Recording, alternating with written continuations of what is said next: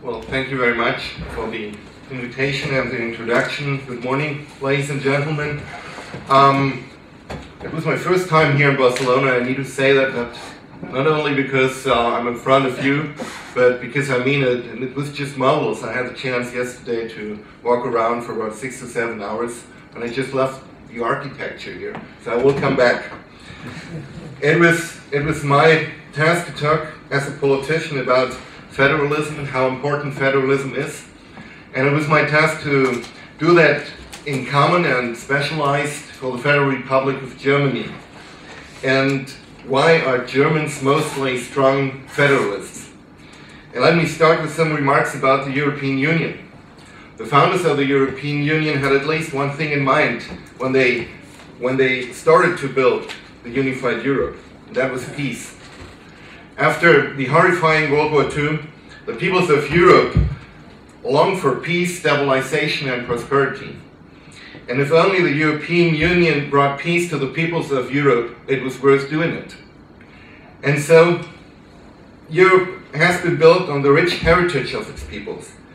And for me, Europe will only have a good future if we respect the traditions and identities of its peoples. Therefore, we need a system where each people can live in its own tradition, respected by legal authority, and with a maximum of political power to choose the way for its own future. And that leads me to, to my statement. That's wrong, it's not my statement. He who does not appreciate man in his historical, language, and cultural identity injures the roots of his existence, which are part of his inner dignity. So, we need a political identity within the European Union and we need cultural diversity to strengthen the European Union and to stabilize it for the future. Our ancestors have built Europe with the experiences of their own history. Let us now continue building Europe so that our descendants will still know the cultural roots. What kind of a system in Germany do we have to respect different cultural identities and how are our regions represented in the state. The Federal Republic of Germany shall be a democratic and social federal state. This is one of the key paragraphs of the German constitution as it established the principles the state is based on. The mothers and fathers of the constitution deemed federalism so important that they included this provision among the few elements that are not amendable in any circumstances. Federalism has long become a part of Germany's political culture. Often, the people of Germany refer to their country simply as the Bundesrepublik, the Federal Republic. This shows how central the concept of political decentralization has become for them. Germany has 16 federal states. Can you see that? Okay called Länder, and all states have substantial authority. By the way, this is the state of Brandenburg.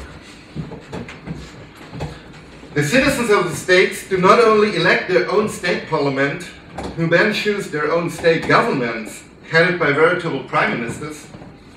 Importantly, these politicians wield genuine political power.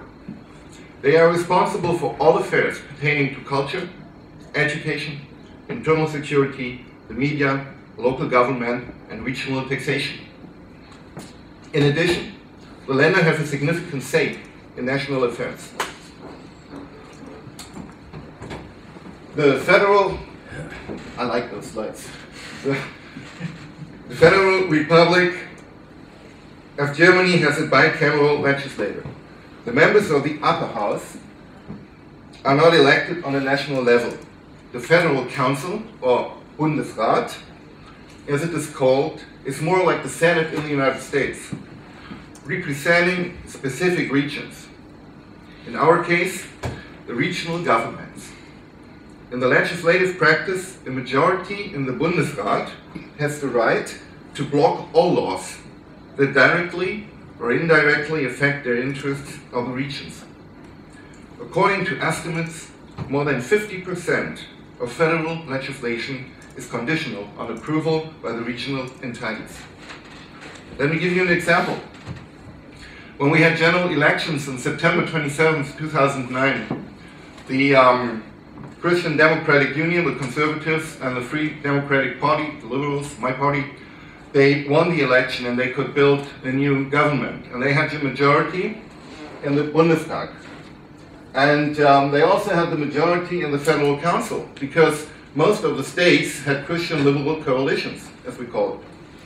Now, in May uh, this year, we had general elections in the state of, how can we go back? We had general elections in the state of North Rhine-Westphalia.